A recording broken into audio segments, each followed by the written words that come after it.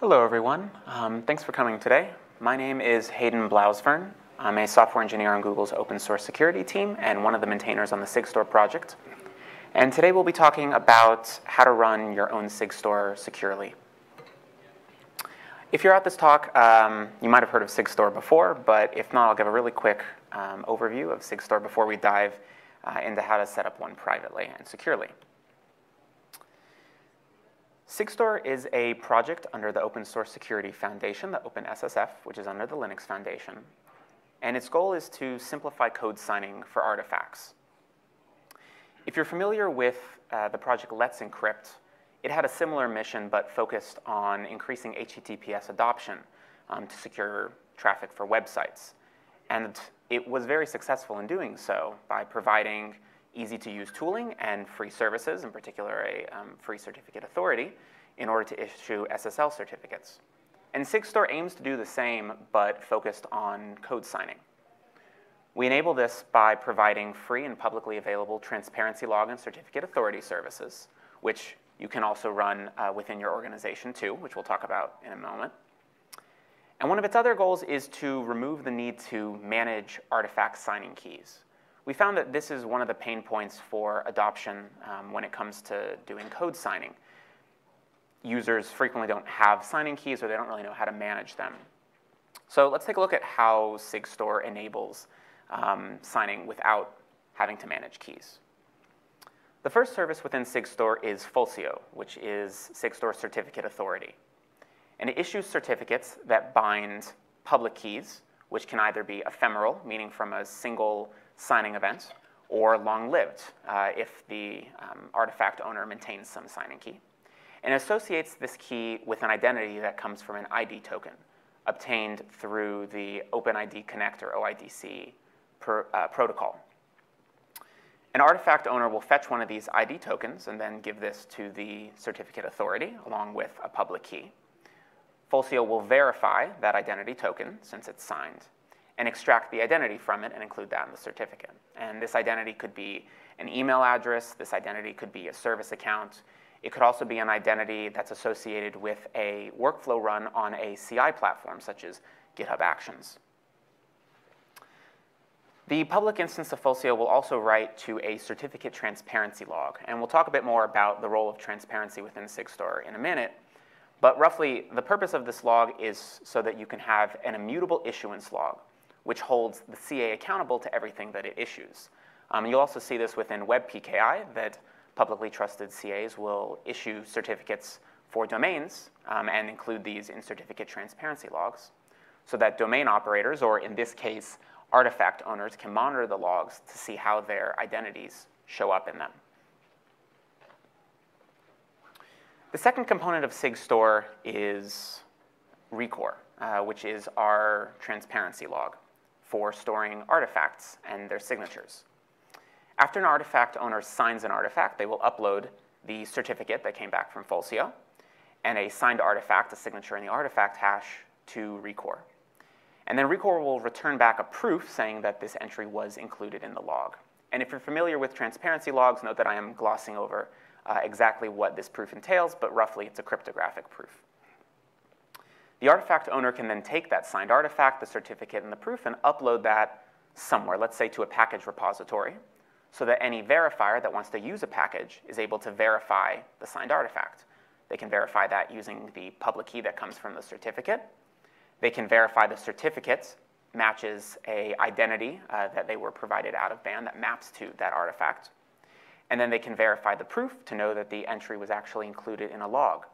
And the benefit of this is, much like with certificate transparency, it allows the verifier to know that an artifact owner can be monitoring to see how their identity and their artifact shows up in the log. Maybe they have some requirement that an artifact will only show up once in a log, for example.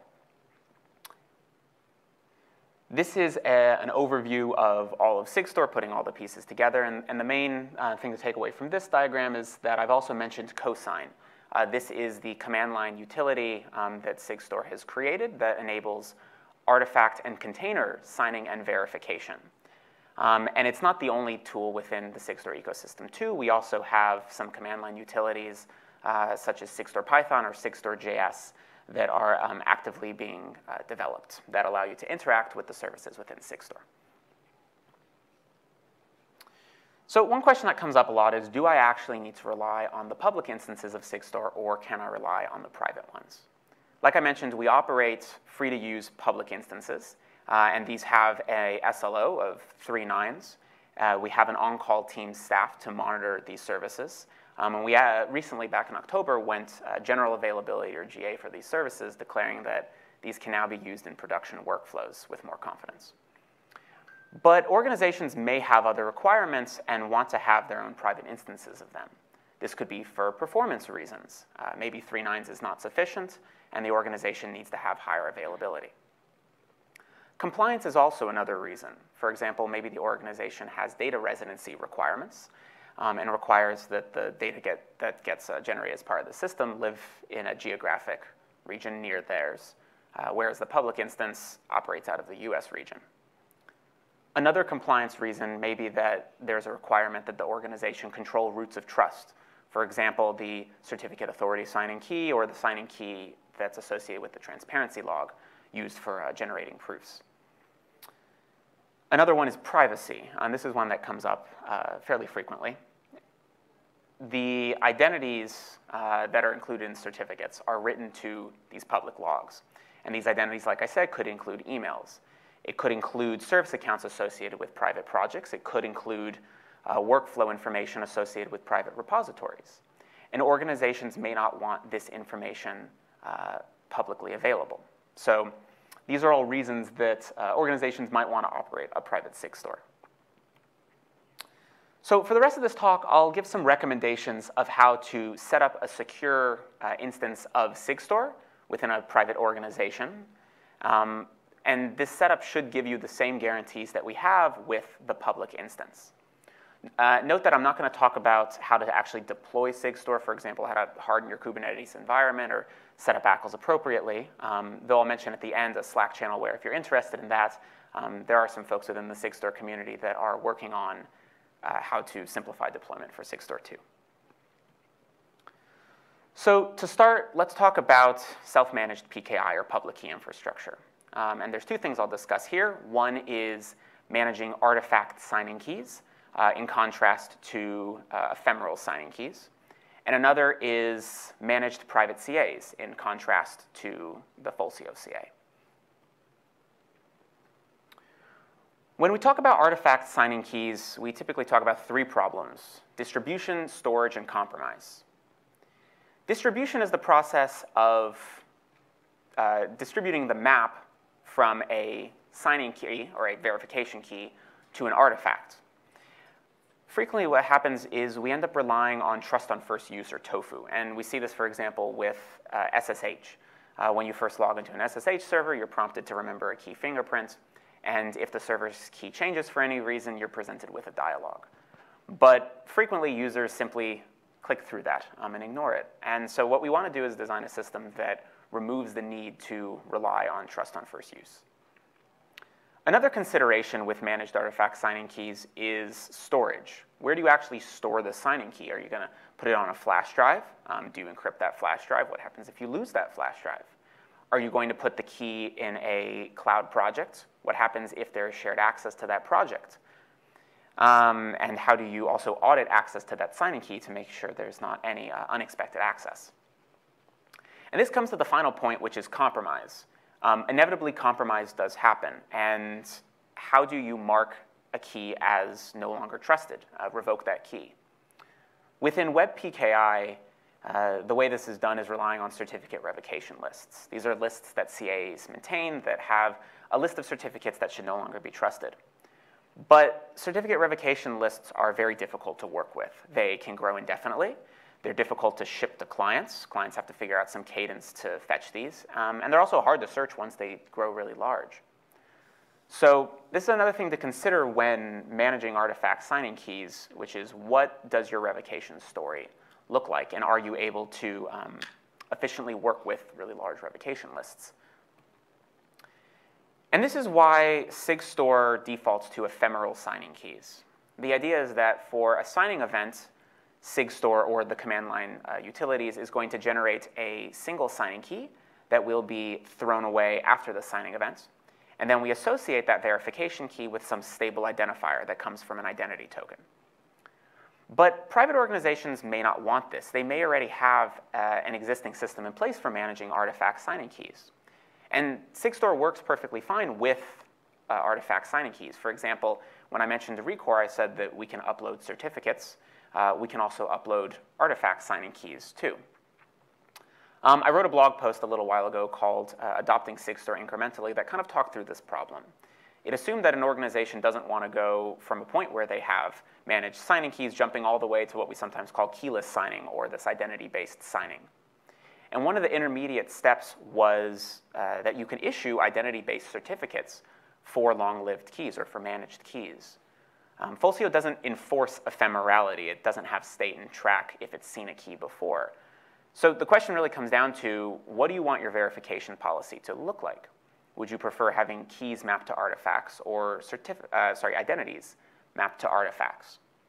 Um, we have found that identities are a little bit easier because we expect that users already have an identity um, to use. And uh, very frequently, that identity is already uh, publicly mapped to the artifacts, maybe by association, maybe by the identity being specified in a repository.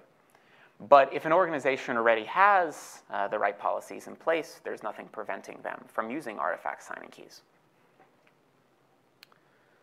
Switching topics, now let's talk about the CA side of things. Um, many organizations already have managed CAs. Uh, these could be through things like StepCA or through a cloud provider such as GCP or AWS. And Sigstore will work out of the box with certificates issued from any CA, not just Fulcio as long as they conform to the uh, Fulcio certificate profile.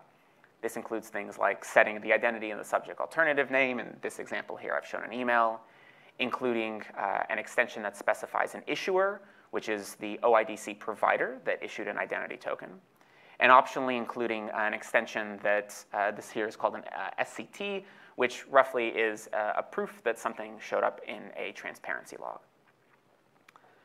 Um, you'll hear me say key management a lot throughout this talk. This is a, a common problem, um, not just with artifact signing keys, but also with the services that are managed and have signing keys. And this is something to consider with managed CAs too.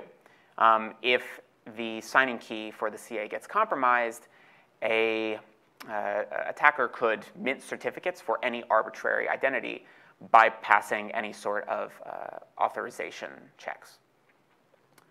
Something else to consider is rotation. CA certificates expire, um, or in the event of a compromise, you may have to rotate it. And so as an organization, you need to have some policy in place that uh, lets you rotate out certificates in a secure way without giving attackers an opportunity to inject their own CA certificates and own trust roots. And at the end of this talk, we'll talk a little bit about how we do that within the production environment of Sigstore. If you don't already have a managed CA, Another option is simply to operate a private instance of Fulcio uh, from the open source repository. Um, the same key management considerations are important here. Fulcio has the concept of signing backends, uh, which are roughly uh, where the signing key lives. In this example here, I show it's within a cloud environment, uh, within KMS. And once again, you need to make sure that access controls are appropriate um, and that access to that key is locked down. We'll talk more about transparency logs in a moment, but I think it's worth noting here that I also believe that it's critical that you operate a certificate transparency log even within a private environment, even if you won't have uh, these certificates public. Because this will give you an immutable issuance log such that an auditor can verify how identities are showing up in a log and make sure that there's not anything unexpected. And this is beneficial too in the case of compromise of a CA signing key if a CA signing key is compromised, either an attacker will uh, up, have to upload that certificate to a transparency log, effectively forcing attackers into the open, or they'll omit the certificate from a transparency log, at which point verifiers should simply not trust the certificate. So now let's talk a little bit about private transparency logs. Um, and before we do that, I'll talk a little bit about what a transparency log actually is. Um, if you're familiar with blockchain, uh, you might have heard of this data structure before, which are Merkle trees. Um, and this is a representation of a Merkle tree on the right here. Uh, roughly, the leaf nodes of the tree are hashes of what's going into the tree, and then the parent nodes are hashes of the concatenation of their children. And this construction uh, allows you to calculate certain types of proofs over this tree. And one of them is called inclusion proofs. Uh, these are cryptographic proofs that allow you to show that an entry actually is in the tree. Another type of proof is uh, what's called a consistency proof. And a consistency proof says that between any two points in the log, points defined by size, let's say size 2 and size 10, uh, we guarantee that the tree remains um, append only, uh, meaning that between those two points, what's in the tree uh, was not modified or removed. Um, and over time, this gives you the property of immutability, that uh, trees can only be appended to and not uh, removed from or mutated. Um, more accurately, the mechanism lets you detect any sort of mutations um, over time. Uh, there's many applications of transparency logs. Uh, we saw certificate transparency as one example. binary transparency, this is things like Rekor. Uh, and key transparency is another one that I wanted to mention, which is useful uh, within the end-to-end encrypted messaging space that give you a uh, publicly auditable mapping between keys and identities.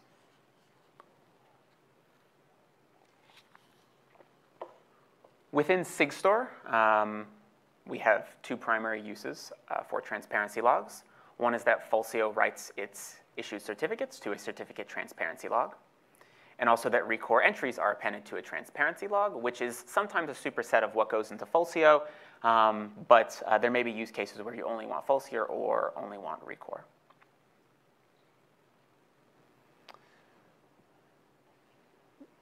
These are all questions that I've heard at some point when discussing with uh, maintainers or community members, which is, do I actually need a transparency log if I'm going to be operating in a private environment?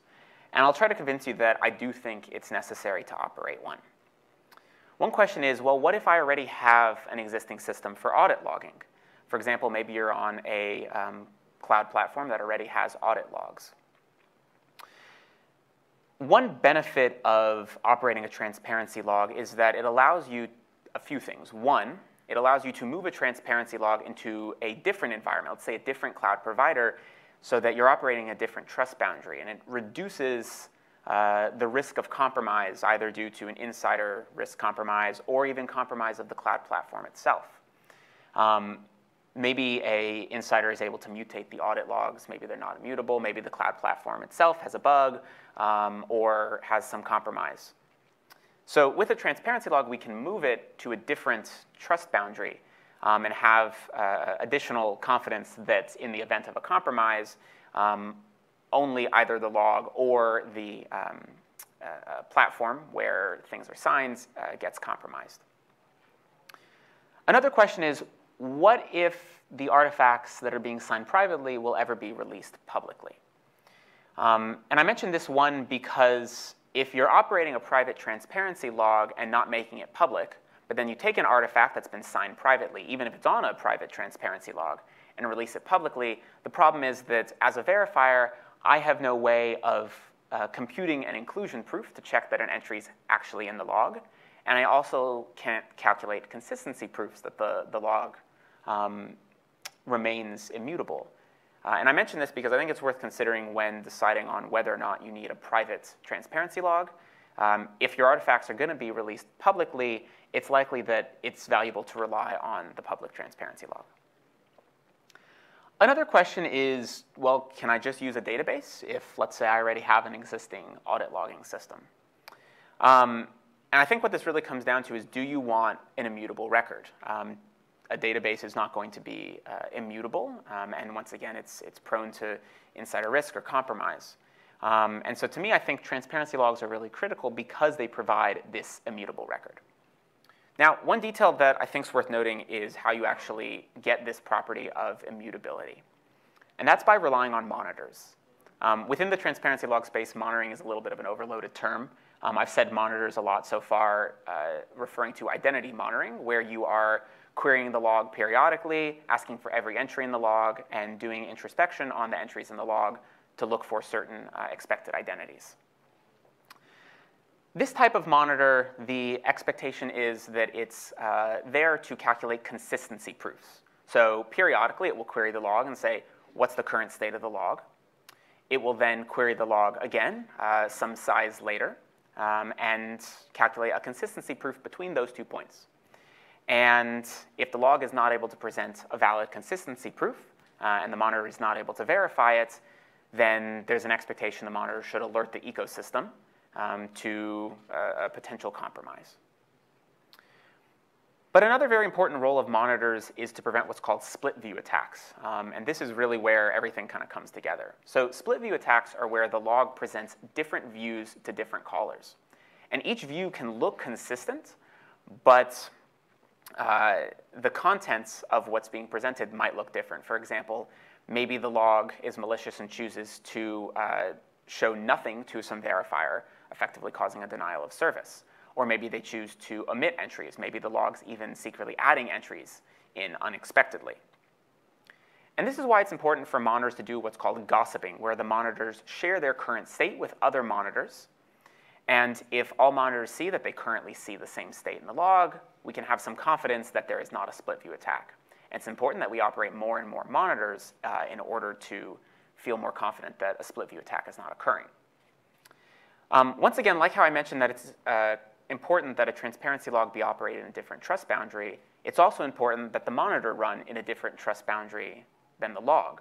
Because if the log becomes compromised and it's in the same trust boundary as the monitor, an attacker might be able to shut down the monitor uh, and you wouldn't be notified when uh, uh something malicious is occurring. Um, I've left a couple links here uh, to some of the monitors that we're working on, one of which is in the Sigstore organization called Rekor Monitor. This is something that I, along with Purdue University, have been working on. Um, this can run on GitHub Actions, which is useful for monitoring public transparency logs, um, but you can also operate this yourself. Another monitor uh, was created by the team behind Trillian. Uh, Trillian's a scalable Merkle tree service, and this is actually what backs Rekor and certificate transparency. Um, if you're interested in talking more about monitors, uh, I'm happy to do so uh, after the talk. So next, let's talk about timestamping. Um, this is a really critical component of Sigstore. That is because the certificates that get issued by Fulcio are very short-lived. This is in contrast to SSL certificates that are typically issued for 30 days, 90 days, a year, it could even be more than that. And one issue with the system is if for some reason the signing key material gets compromised, you're going to have to revoke the certificate. This means that you now have to rely on certificate revocation lists. And we didn't want to have to rely on those for Sigstore issued um, certificates, so we issue very short-lived certificates, in this example just for 10 minutes. And when verifying, it's less critical that we check that the certificate is still valid, but that the uh, artifact was signed when the certificate was valid.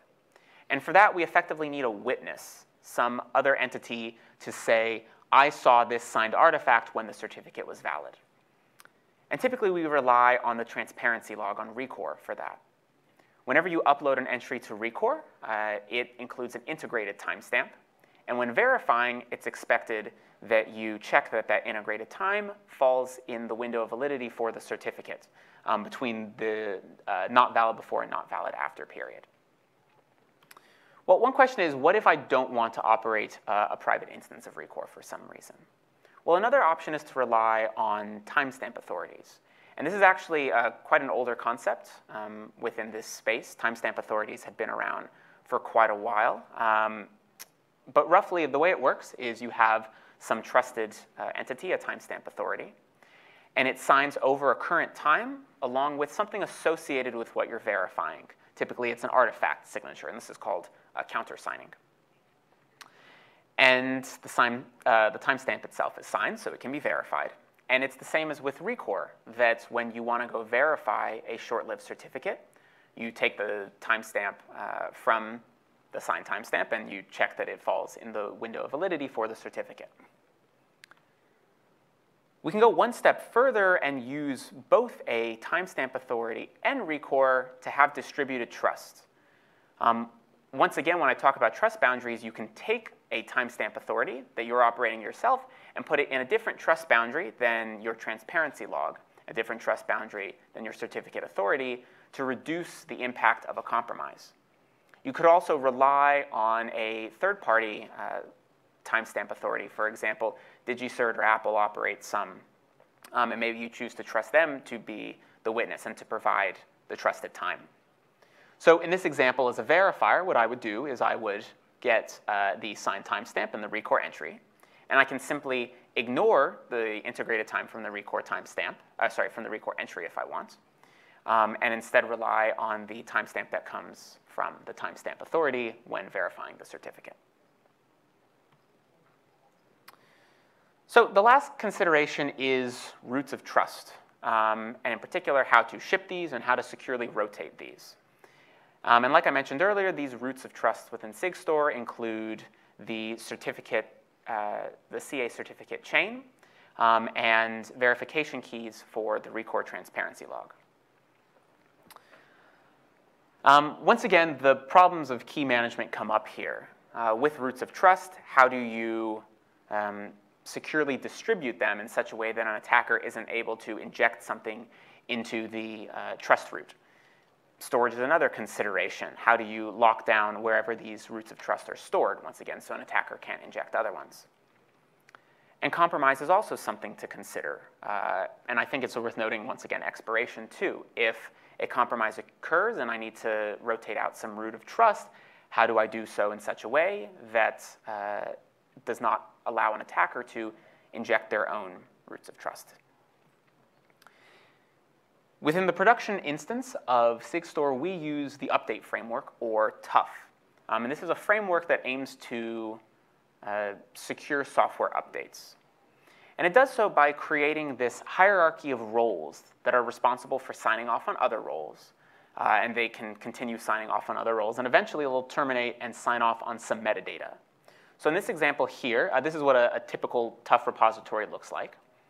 We have a target role, which is comprised of some signing key. I'll note that this signing key could either be offline or online. So uh, for the target role, it's, I believe, recommended that it be um, offline. Uh, for the root role, it's very strongly recommended that it be offline. Um, and the target role is going to then sign uh, the metadata um, or a set of files, right? And this, is, this could include the certificate, this could include the public key. And the idea is that because it's signed, it doesn't give attackers the opportunity to um, inject in any of their own metadata. The snapshot role is responsible for specifying all of the roles that should be a part of the system, once again, as a mechanism to prevent injecting other roles. And the timestamp role is responsible for signing a timestamp that's meant to frequently expire. And this forces clients to go online periodically and fetch the latest TUF repository.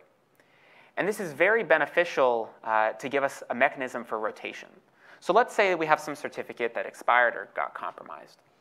All we'd have to do is have the target role uh, sign a new set of targets, sign some new target metadata. And as clients' timestamps expire locally, they would go online and fetch uh, this latest update. Um, another thing to consider here is that what happens if the signing keys for any of the intermediate roles here, the target timestamp or snapshot roles, get compromised? Well, this is the, the purpose of the root role, which is going to sign off on all the other roles. Um, within the production instance of SigStore, the root role keys um, are held by a number of trusted community members. Um, and you need a uh, majority of the key holders to do a new root signing event, uh, signing off on new um, keys for other roles. And so this prevents uh, the compromise of a, of a single uh, root key holder. And I think it's important that if an organization wants to use TUF, you have a similar setup where you have some keys that live offline that are very rarely used to update uh, the roles that they delegate to. Um, but you rely on this mechanism so that you have some sort of secure update me uh, mechanism um, for rotating in new target metadata. So we're about at the end of the talk. Um, there's a couple takeaways um, from this. Uh, first, key management is hard. Um, and this is whether you're referring to artifact signing keys or for managing roots of trust, or managing the keys behind your service. Um, so I think it's really important to, when you're building the system, to consider this. Um, and this is why we recommend things like uh, the update framework. Next, auditability is critical, whether you're using the public instance of Sigstore or whether you're operating a private one. Um, I think it's really critical to have an issuance log of every certificate that gets issued, a log of every artifact that gets signed, because it gives you this permanent, immutable record of every interaction that's happened. Um, so you can go back in the event of a compromise, see what happens. You can see how your identities are being used. Um, like I mentioned at the beginning, I didn't talk about how to actually deploy Sigstore. Uh, if you're interested, there is a channel on the Sigstore Slack uh, called Private Sigstore Users, where some folks have been working on how to deploy a system that looks like this with all of these components. Um, so feel free to go check that out. Uh, thank you very much. Are there any questions?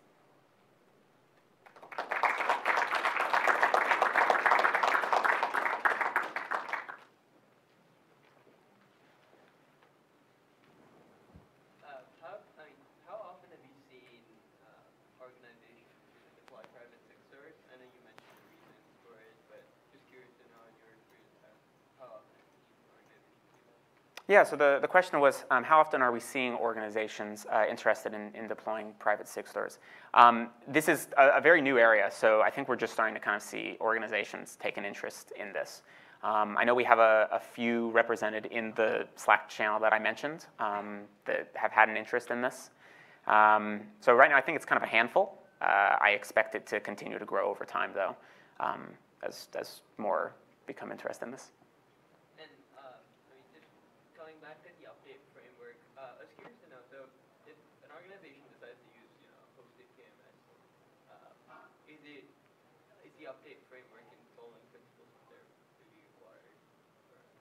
So is the question, do you need the update framework if you're relying on? on like, let's say, Google Cloud Yeah, so I, I think it kind of depends, right? It's, it's where, what do you trust, right? So if you're trusting the um, cloud provider entirely, maybe you can rely on their mechanism for something like um, uh, uh KMS to rotate out keys. Um, I think it kind of depends on what your environment looks like. If it's very, very tied to that one cloud provider, maybe everything's integrated and you don't need to rely on something like the update framework. But I think once you start um, distributing trust, you start running your services within different cloud environments, being able to bring together all the roots of trust um, in a single repository becomes important. And that's where I think uh, uh, Tuf could be valuable. Awesome. Um, well, if anybody wants to chat more, I'll be around after the talk. Thank you very much.